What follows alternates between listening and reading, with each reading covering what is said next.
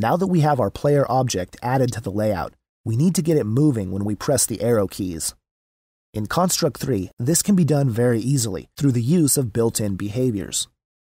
We'll take a look at what behaviors are and how to add them to an object. Also, we'll discuss how movement works in Construct 3. In Construct 3, behaviors are the way that we add more functionality to an object.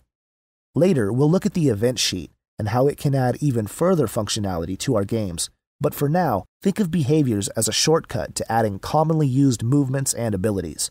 These behaviors can be replicated in the event sheet, but they are things that are so commonly used in games that they are built in as behaviors. So, let's take a look at adding a behavior to our player object. First, make sure you have the player object selected and go over to the Properties bar. About halfway down, there's a section called Behaviors with a blue Behaviors link. Clicking on Behaviors will bring up this window. We can add new behaviors to the selected object here. Just click Add New Behavior. From here, we have a bunch of options, but we're going to keep it simple and choose 8 Direction from under the Movements category. The 8 Direction behavior allows an object to be moved in 8 directions up, down, left, right, or diagonally between each of those.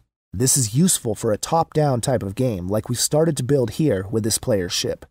Either double-click the 8-direction behavior, or select it and then click the Add button.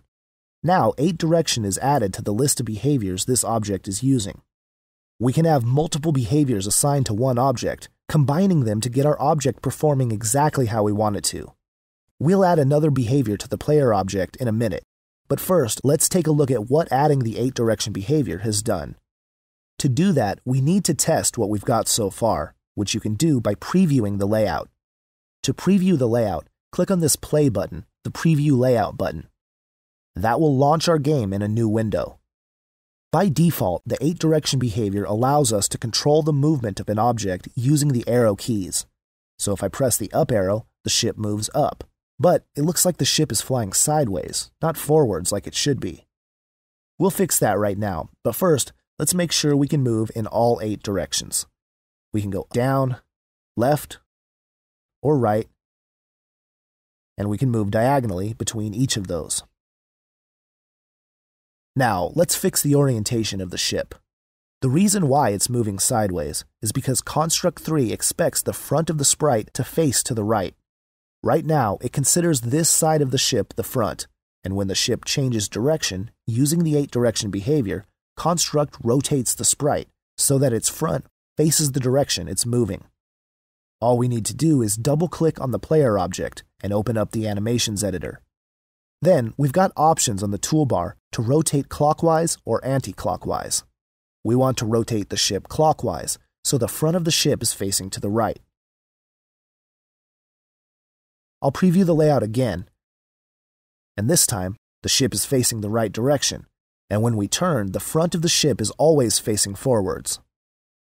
Now the ship can fly around the layout, and everything looks great, but the ship can fly off the screen, which I don't want it to be able to do. I want to force the ship to stay within the boundaries of the layout. To do this, we can add another behavior, the bound to layout behavior. The bound to layout behavior will stop an object from leaving the layout, making sure it's contained within the edges of the layout. With the ship selected, click on Behaviors, and then Add New Behavior. This time, we need to select Bound to Layout under the General category. Now, our player object has two behaviors applied, 8 Direction and Bound to Layout. If I preview again, now when I fly towards the edge of the screen, the player's ship is held within the layout. I feel like the ship is a little too slow though. I'd like to get it moving a bit faster. Just like objects and the layout itself, most behaviors also have properties that can be adjusted in the Properties bar. With the player object selected, under 8 direction, change max speed to 300. I'll preview the layout again and now the player moves around at a better speed. Last, I'd like to talk a bit about how movement works in Construct 3. In an earlier video, we set the size of the layout to 900 by 600.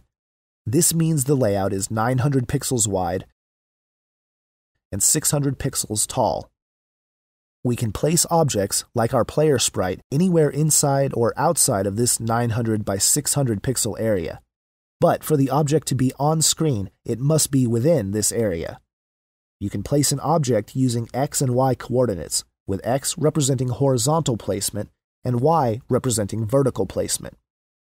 The x and y coordinates begin at the top left corner of the layout. So this position at the very top left corner is represented with xy coordinates of 0, 0. x is equal to 0 and y is equal to 0. As we move to the right, the x value increases, and to the left, it decreases. If we move the sprite down, the y value increases, and if we move it up, the y value decreases. Since the layout is 900 pixels wide, the maximum x coordinate for an object to be visible would be 900. If the object was placed at x coordinate of 901, it would be one pixel off the screen. But our player ship is not a single pixel, it's a sprite made up of many pixels. If I double click the player object and open the animations editor, and click on the resize button, we can see that the player sprite is 64 pixels by 64 pixels. The coordinates work the same way within an object as they do in the layout. The top left corner is 0, 0, while the bottom right corner is 64, 64. So if we place an object on the layout at a specific xy coordinate, we need to specify a point within the sprite called the origin point that will determine exactly where it's placed. Let me show you what I mean. I'll close down the animations editor for a second. Under the player object's properties, we can set the exact xy coordinates we want. I'll set the ship to 0, 0, the top left corner. You can see that the ship was placed in the top left corner, but the center of the ship is located at the actual 0, 0 coordinate. That's because the default origin point is set to the center of a sprite object. Double click the player ship and click on this button, Edit the Image Points. We'll talk more about image points later, but every sprite has at least one image point, known as the origin point. The origin point corresponds to the x and y position of the sprite in the layout. We can click anywhere on the sprite to place the origin point, or if you have a numpad, press the number keys to automatically place the origin point. It will place the origin point on the sprite relative to the placement of the number you push. For example, pressing 1 on the numpad places the origin point at the bottom left corner. Pressing 9 places it at the top right corner. And pressing 5 places it right in the center of the sprite. I'll press 7 and put it in the top left corner and exit out of the animations editor. Now, the ship is still placed at 00 0 coordinates, but the origin point has been moved.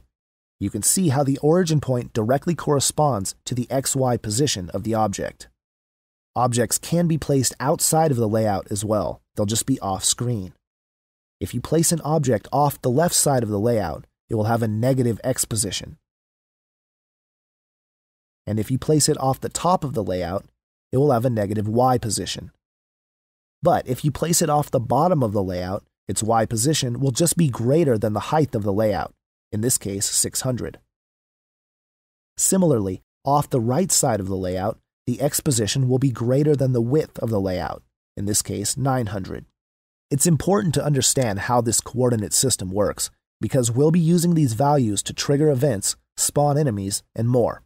Just make sure you understand the x and y coordinates, as well as what an origin point is, and you'll be good to go.